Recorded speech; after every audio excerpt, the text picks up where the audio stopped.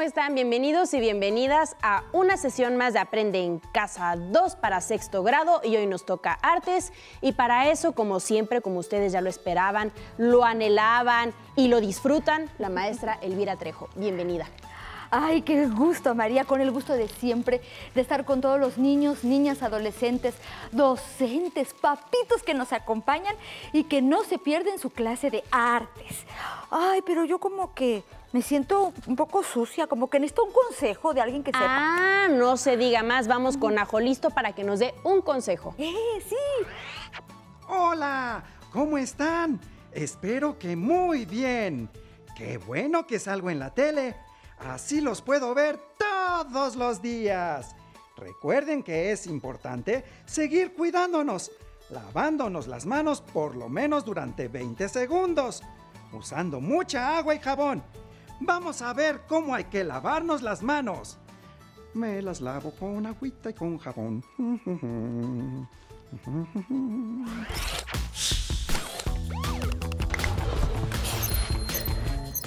¡Atención! ¡Atención! A continuación, información importante. Lavarnos las manos varias veces al día es importante para prevenir cualquier enfermedad. Sigue estos pasos para hacerlo correctamente. Moja tus manos. Usa suficiente jabón. Frota tus palmas una con la otra. Ahora, frota la palma de una de tus manos contra el dorso de la otra, entrelazando los dedos. Repite lo mismo con la otra mano. Frota los dedos. Ahora haz como que rasguñas la palma de tus manos para lavar tus uñas. Enjuaga tus manos con agua. Sécalas con una toalla. Y listo, tus manos están limpias.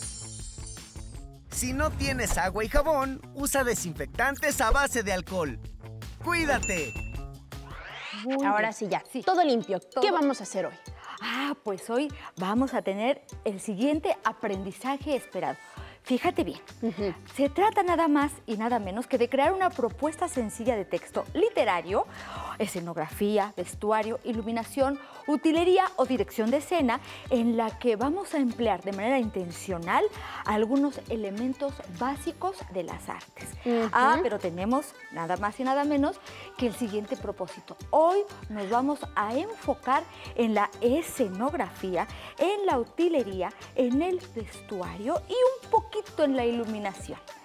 Vamos a entender muy bien cómo es que hay un abanico de posibilidades en ese sentido de acuerdo a la manifestación teatral que hayamos escogido, porque no todas iluminan igual, ni, ni todas ocupan el mismo tipo de escenografía, tampoco el mismo tipo de vestuario. Y al respecto, como siempre, nuestra comunidad escolar hizo una pregunta, entonces vamos a poner mucha atención, vamos a escuchar la pregunta que, es, que nos hicieron, pues nada más y nada menos que de la escuela Andrés y Duarte. Se trata de Arturo. Vamos a oírlo. Hola, les habla el alumno Arturo López Gutiérrez. Pertenezco a la escuela Andrés y Duarte, la cual se encuentra en la colonia La Laguna Ticomán, en la alcaldía Gustavo Amadero. Curso el sexto grado, en el grupo C. Mi maestra me dejó hacer una obra de teatro, pero me surgió una inquietud. Para que una obra de teatro sea atractiva, debe haber gran inversión de vestuario y escenografía. Qué buena pregunta. Y la verdad es que yo tengo exactamente esa misma pregunta. Yo estoy muy preocupada porque como ya seleccionamos Chimpete Champata para poderla escenificar. Sí, ¿te acuerdas? Muy bien. Me quedé preocupada y pensando, pues, ¿cuántos elementos vamos a utilizar? Ah, Nos va a salir muy costoso. Y pues es que a mí me apasiona esto de las artes, ya te acuerdas que te lo había dicho. Sí, sí, sí. Y, a mí, sí, y a mí me emociona presentarme así en grandes escenarios, que se vea una coreografía así enorme, que ah. se vean así todo muy llamativo, muy La coreografía, o sea que vas a poner una, un baile y así con los pasos y la danza de tu coreografía. No, no, no, no, no, no, vamos a bailar. La coreografía, lo que... la, coreografía, cuando pusimos aquí un, como una tela enorme con un dibujo y la ah, coreografía, hombre. No, no, no. Fíjate, María, que esa, que esa confusión que tienes es muy común. Ah. Muchos confunden la coreografía con la escenografía. Y la coreografía, pues justamente se trata de los pasos de baile que se presentan. En cambio, la escenografía, la escenografía nos habla de todos los elementos visuales que juegan en el escenario.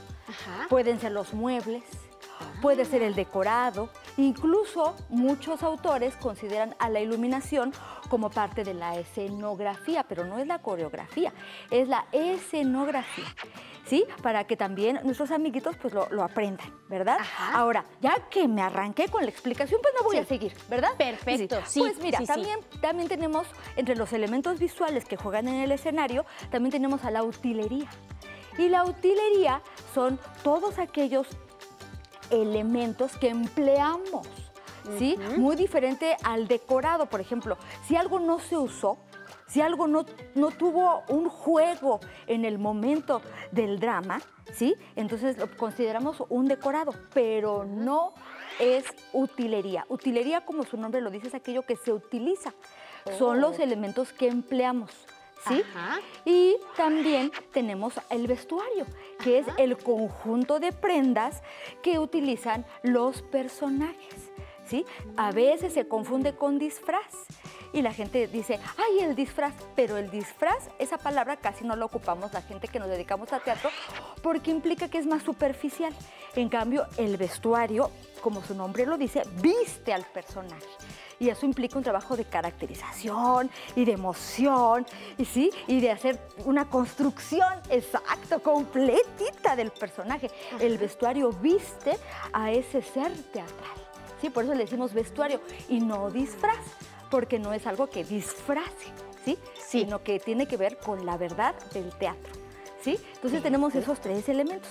La escenografía, los elementos visuales, el vestuario, que es el conjunto de prendas del personaje, y la utilería, que es lo que empleamos. ¿Sí? Perfecto. Elvira, qué bueno que nos aclaras esto, porque todo este tiempo pensé que estos elementos que acabas de mencionar, pues solamente eran para que se viera bonito, pero no pensé que tuvieran una utilidad así. Ah, pues esa, esa duda y a veces esa confusión tampoco es solamente tuya. Muchas personas eh, creen que al hacer una obra de teatro lo importante es que se vea bonito y lo importante efectivamente es que se utilice y se utilice adecuadamente. Son parte del lenguaje artístico. La escenografía su manera habla, la utilería nos funciona, nos sirve, también es parte del lenguaje y nos diga del vestuario, ¿sí? Entonces, lo importante es que sea funcional y que tenga una utilidad en el escenario y para los, personajes que están ahí. Ajá. Ay, Elvira, pues ya ahorita que me aclaraste todo esto, siento que tengo que seguir estudiando, porque te acuerdas que te dije que iba a estudiar e investigar y al parecer no lo hice muy bien. Entonces voy a seguir estudiando e investigando. el camino de la investigación, acuérdate, siempre es muy útil, muy importante y además nunca se acaba. Así que tú sigue investigando. Voy a hacerlo, sí. Yo creo que la investigación te va a llevar a algún lugar muy, muy productivo y efectivamente lleno de cosas eh, eh, iluminadas lleno de cosas maravillosas. Y estoy segura que las musas de la inspiración llegarán con ese estudio y con esa investigación. Yo decreto que se te aparecerán las musas de la investigación. Ay, ojalá que sí. Sí, sí, sí. Y aquí decía, Coreografía. Sí, pues coreografía son los pasos coordinados. y yo lo dije todo mal, qué barbaridad. Ay, pero está enorme el libro. Nunca voy a terminar de estudiar. Yo creo que, ay, he tenido unos días bien pesados. Yo creo que mejor ahorita termino de estudiar, me voy a echar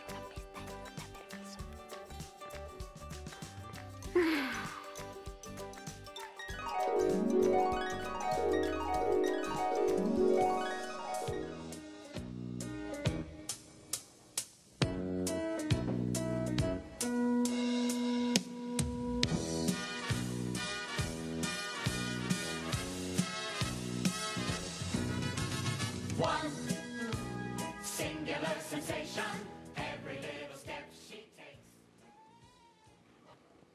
Yo soy el teatro musical.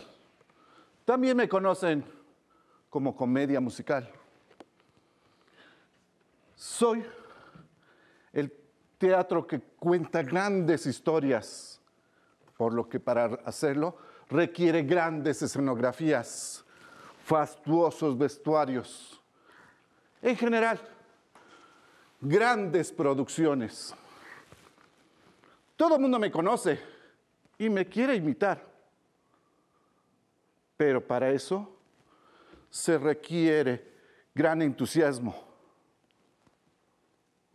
organización y sobre todo creatividad.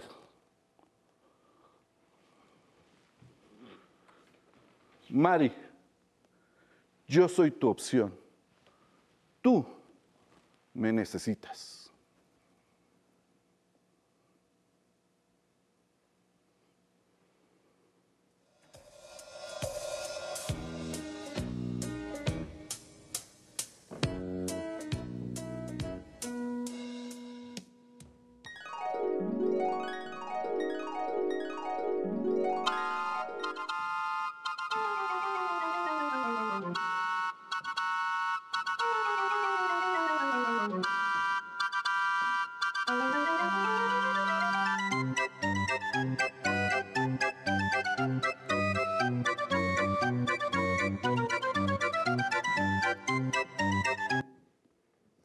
Yo soy el teatro de títeres, un tipo de representación teatral que utilizó títeres bidimensionales y tridimensionales. Soy operado por actores llamados titiriteros, que se ocultan detrás de un teatrino. Es una miniatura de un escenario y tiene pequeños telones llamados telonetes. El títere lleva vestuario, pero el titiritero no. Generalmente lleva ropa neutra para que no se note su presencia. Soy muy utilizado en las escuelas porque resulto muy atractivo para los niños.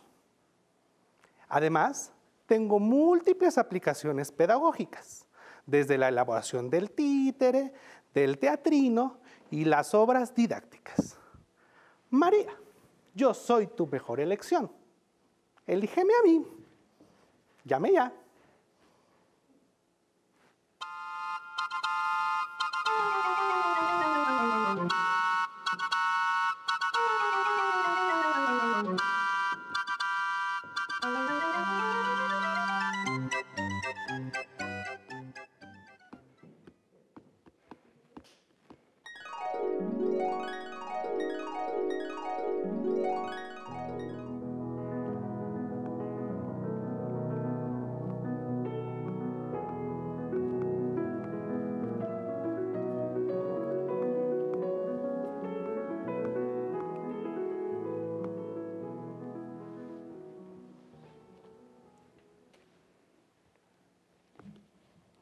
Yo soy nada más y nada menos que el teatro en atril o la lectura dramatizada.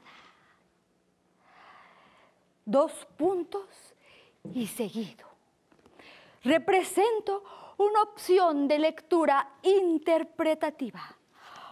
Por tanto, coma, no requiero gran inversión en vestuario, escenografía, utilería o iluminación. Punto y aparte. Mi belleza está cifrada en la palabra, en la capacidad oral del intérprete. Punto y seguido. Ah, soy exigente con los signos de puntuación, pues los signos de puntuación dan sentido al texto.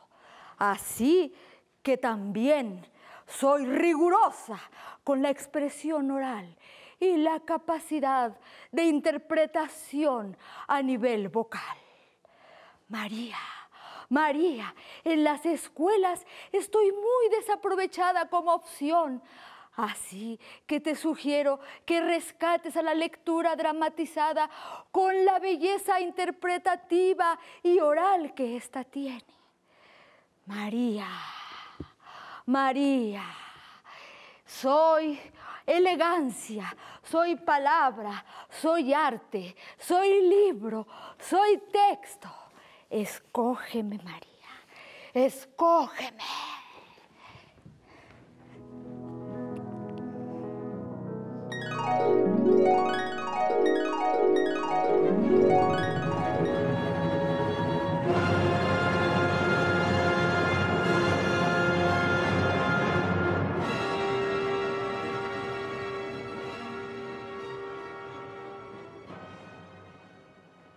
Hola, yo soy el Teatro de Sombras. Realizo un acto muy, pero muy, pero muy asombroso y también poético con sombras. Para lograrlo, requiero de un efecto óptico y de una fuente de iluminación y una pantalla. No requiero de un maquillaje en específico. Lo que sí tengo que tener mucho cuidado es en mi vestuario, ya que cualquier cosa puede causar sombra. La utilería que ocupo es muy específica. Para eso requiero de bastante, pero bastante ensayo. ¿Y qué crees, María?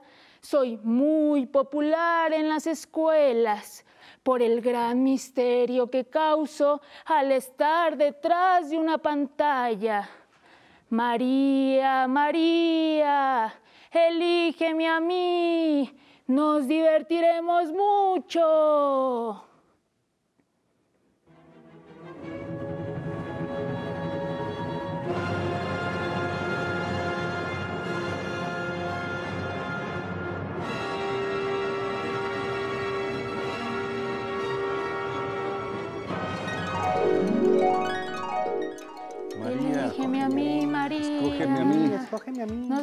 A divertir mucho. María, Por favor. yo soy tu mejor María, opción. María, A mí. María, Escógeme a mí. María. despierta. Nos Escógeme a mí. divertiremos, María. Ay, me quedé dormida. Ay, qué cosas. Muy, bu- eh, ¿cómo están? Bienvenidos otra vez a Aprende en Casa. Elvira, te tengo una increíble noticia. ¿Qué tal el estudio? ¡Ay, una, not- una noticia! El estudio muy bien. Bueno, no, en realidad más o menos, pero te tengo una noticia más importante todavía. ¿Qué ¿Cuál? crees? Me encantan las noticias importantes. Tuve un sueño revelador, No me digas, ¿qué soñaste? lleno de color, felicidad, teatro. ¿Y a qué conclusión crees que llegué? ¿A cuál? ¡Cuéntame! Ya sé cómo lo vamos a montar. ¡Ay, cómo, cómo, cómo! Lo vamos a montar como... Lo vamos a montar como... Lo vamos a montar como... ¡Teatro en atril! ¡Eh! ¡Tenemos un ganador! ¡Tenemos un ganador! Oye, aunque todas, todas las manifestaciones teatrales son hermosas, ¿verdad? Sí. ¿Y por qué escogiste teatro en atril?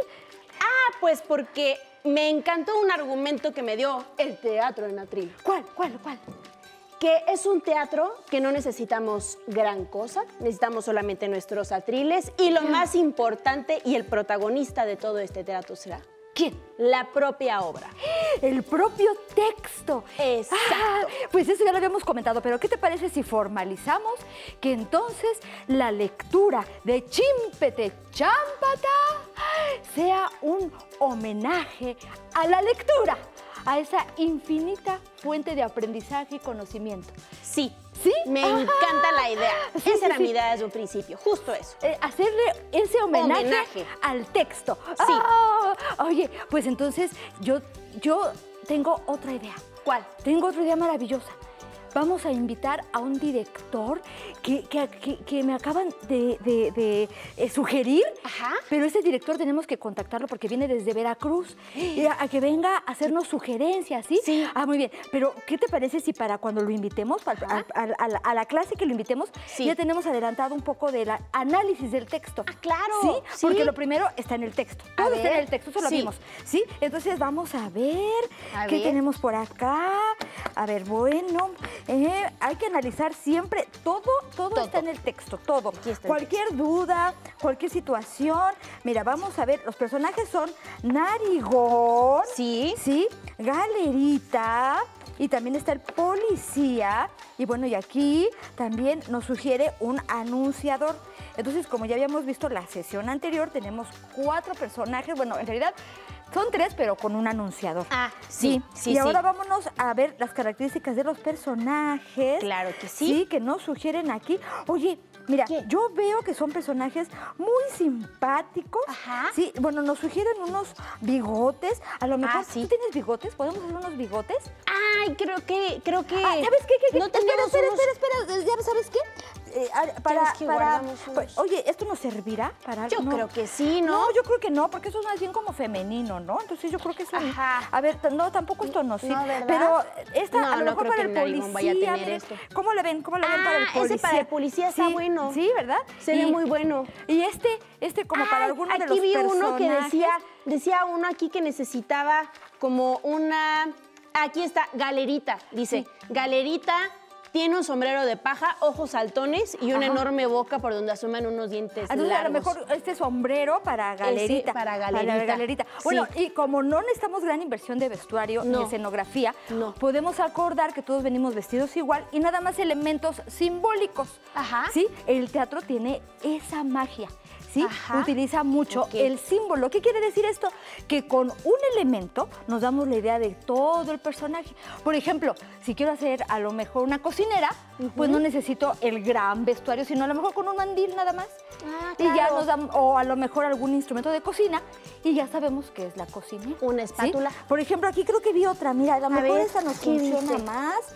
Mira, mira, es que aquí. ¡Ay, mira, mira este Para, para, tu personaje, a lo mejor. Ay, a, ver. A ver, a lo mejor le queda. Sí, claro que le va a quedar. Mira. Sí.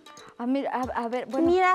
Tendrías que agarrarte el cabellito. Sí, me tendría que. Sí, Ay, me la tendría que poner bien porque ya vi que aquí. Muy bien, muy bien. Oye, Pero y, y acá este, este, para el policía, ¿qué te parece? ¿No? Nos queda Le queda perfecto, para el policía. Oye, ¿sabes quién también hizo este tipo de teatro simbólico? ¿Quién? Sí, pues nada más y nada menos que nuestros compañeros de la obra Sputnik. Y hoy vamos a terminar con los videos que se hicieron acerca de esta obra y vamos a ir con un manipulador, un actor increíble, Hugo Rocha se llama. Muy que nos acompañen los niños y niñas a ver este video.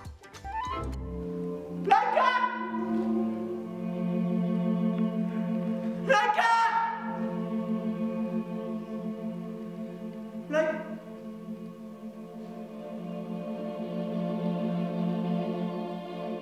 Yo desde niño aprendí a tocar la melódica y eh, en sí soy músico desde los ocho años.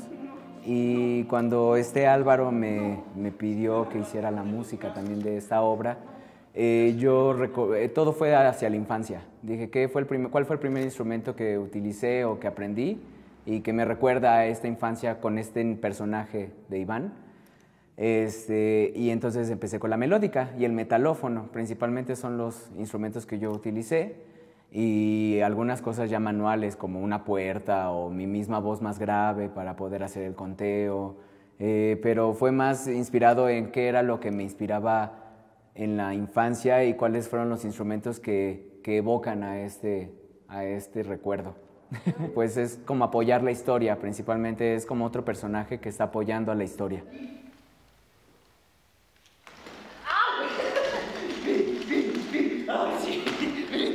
Principalmente el construir al personaje es, este, es enfocarme en, mis recuerdos.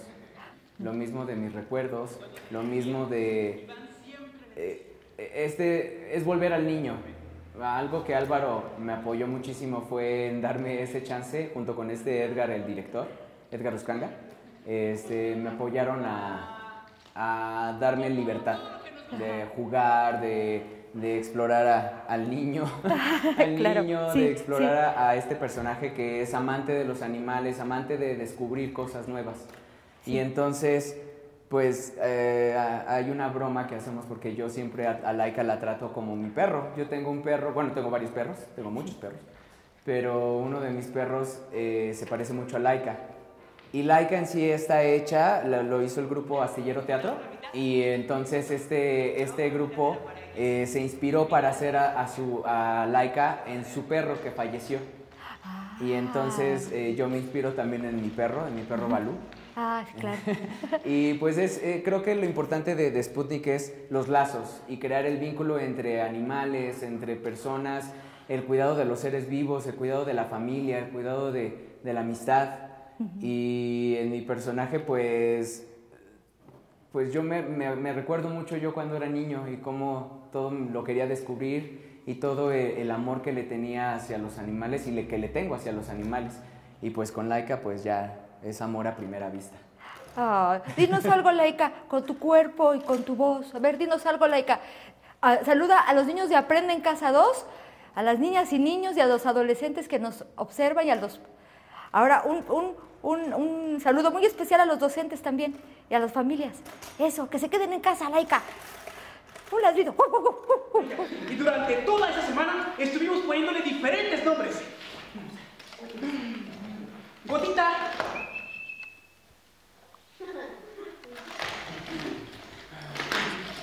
Copo de nieve.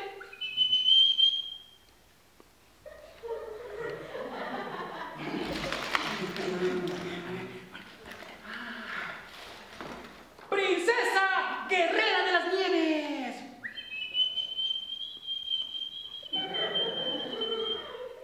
No, pero a Iván ninguno le parecía. A veces jugábamos a brincar por toda la Plaza Roja. Otras veces simplemente jugábamos a observarnos.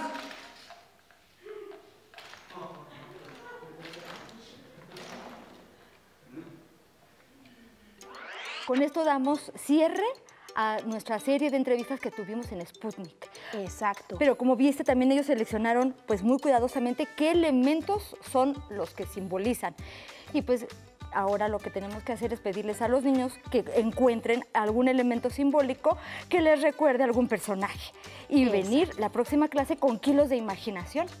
y mucho entusiasmo y también lo de siempre, haber investigado pues Sí. qué son los conceptos que estamos viendo y en general en su vida investiguen todo. Sí, sigan investigando. Exacto. Este, pues qué tristeza que se haya acabado esta sesión. Pero ya tendremos más.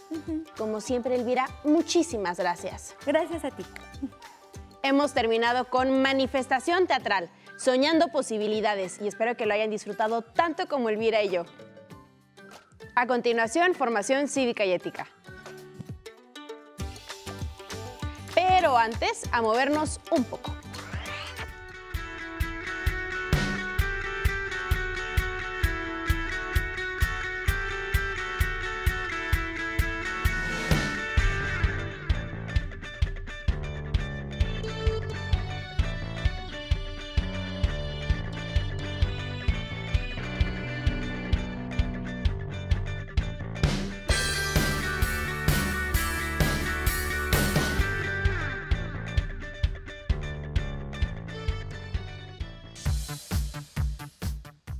No tienes el libro de texto o necesitas ayuda para responder las preguntas, contáctanos.